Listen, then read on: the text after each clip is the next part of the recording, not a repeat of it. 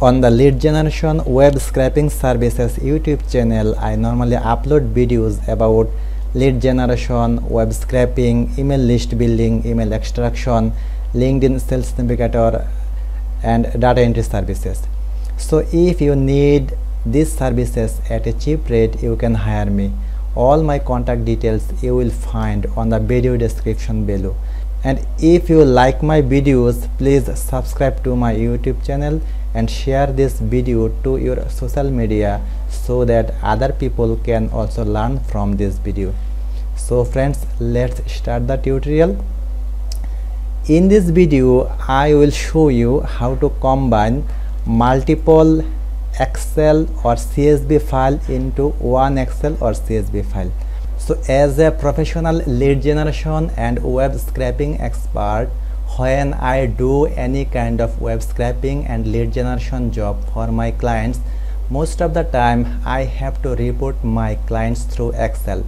To save my time and to do my report very accurately I normally use one Excel tool in the Excel.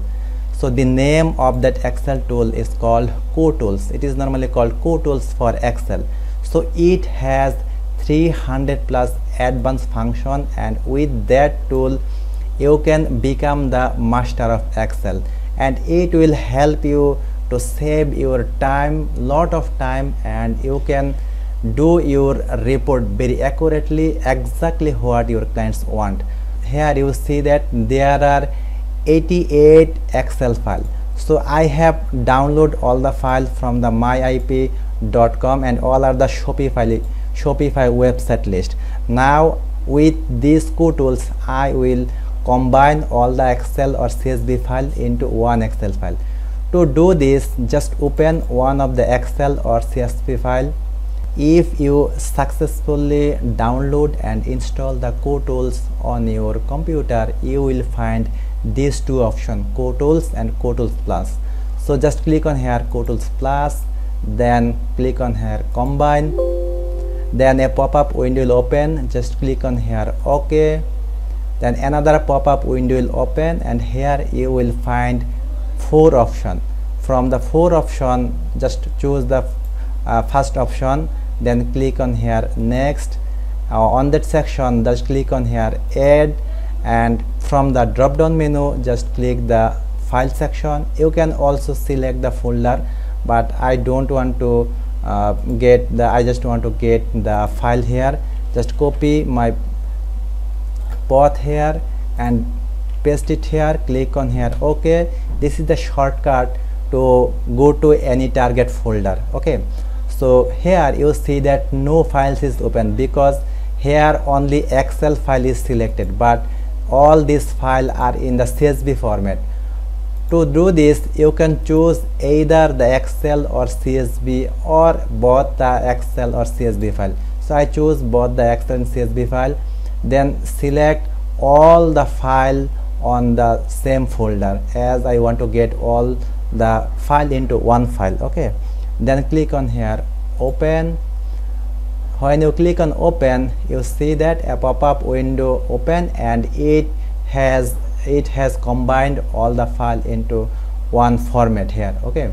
So just here you see all the file has been successfully pasted here. Then click on here next okay? All will be the same thing. Then click on here finish.